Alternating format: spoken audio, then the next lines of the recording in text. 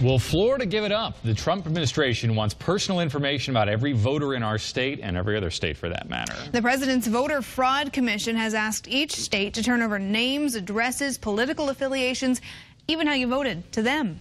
Many states are saying no to that request. ABC 7's political reporter Dave Elias spent his day looking at Florida's situation here and getting reaction from you.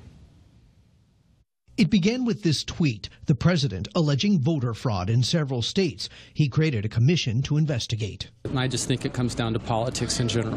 The commission in this letter is asking all 50 states to turn over voter data.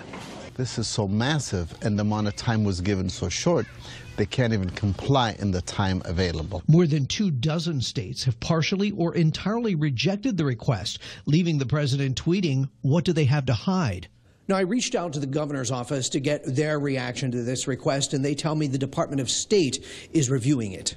The commission wants voters' names, addresses, voting records, and even partial social security numbers. I don't think that the federal government should be meddling with uh, voter information that should belong to the states. The Brennan Center for Justice at NYU fears the data could lead to laws making voting more difficult. Pushing the idea that these things are necessary uh, because of fraud that research that we and others have done have shown to actually be quite rare. Leaving some calling the investigation a waste of time. It's not the best use of government resources and our tax dollars. Others, though, disagree. I support President Trump. If he'd like to do it, I think we should do it. And support Florida turning over all of their data.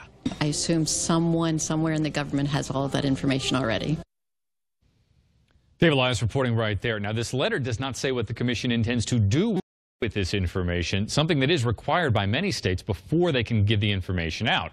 Florida is among the states right now just reviewing the request.